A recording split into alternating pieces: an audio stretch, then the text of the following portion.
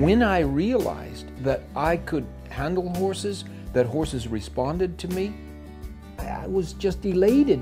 The hair stood up on the back of my neck. Gives you chills. And you can have them too. You can see me answering questions coming soon to horseandcountry.tv.